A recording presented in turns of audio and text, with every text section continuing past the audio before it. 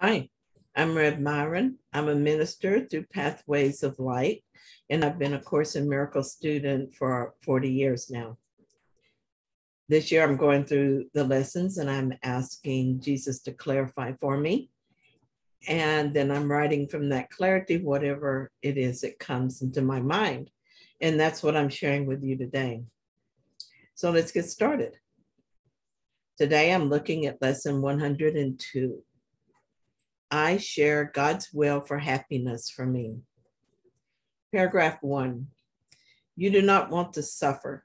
You may think it buys you something and may still believe a little that it buys you what you want.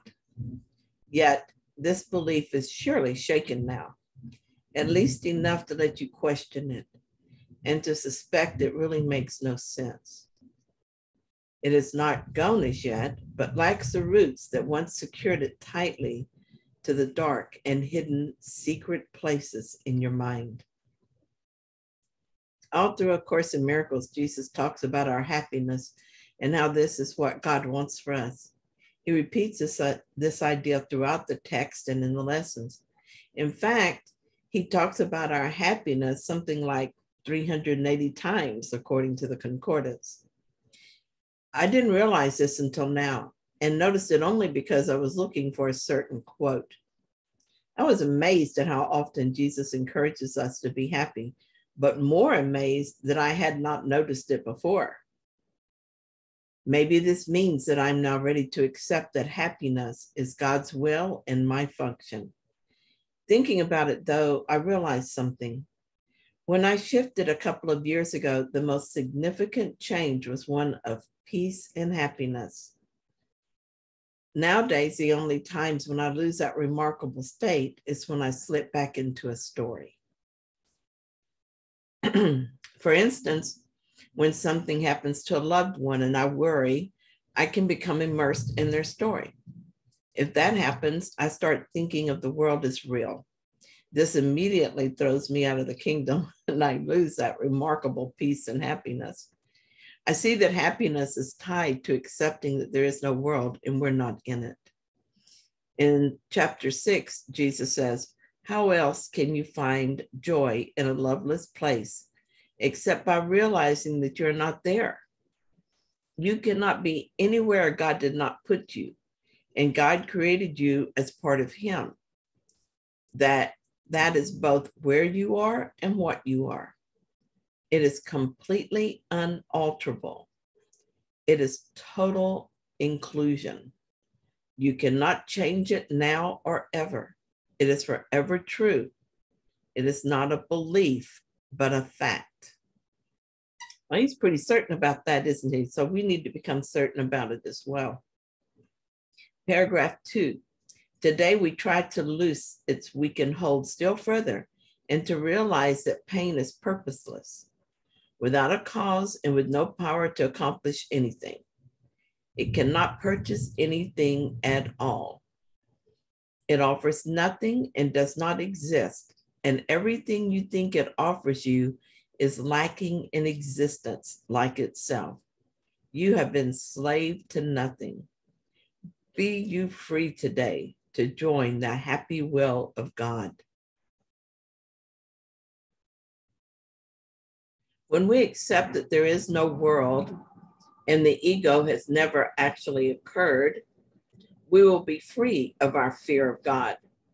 We will recognize that guilt has no cause, and so our fear was unfounded. God has only ever loved us.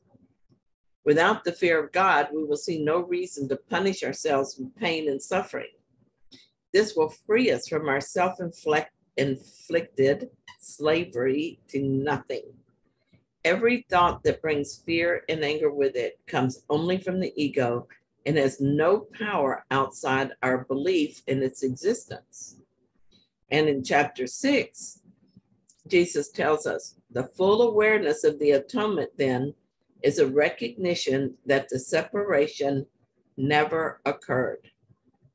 The ego cannot prevail against this because it is an explicit statement that the ego never occurred. Okay, so paragraph three.